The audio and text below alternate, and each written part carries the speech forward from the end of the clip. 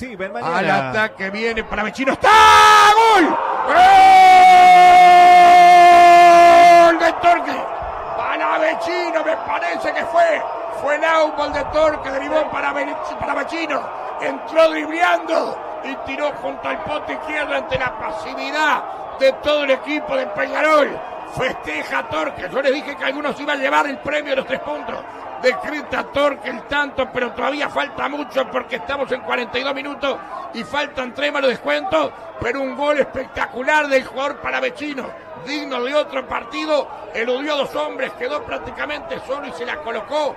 Gana Torque 1 a 0 para Vecino a los 42 minutos. Una diagonal espectacular de Palavecino. El Tano se metió entre medio de la defensa de Peñarol y Dawson lo esperó y lo esperó y lo esperó y Palavecino lo ejecutó en un tiempo sin revancha. Se lleva a Torque abrochando la apertura del tanteador. Es.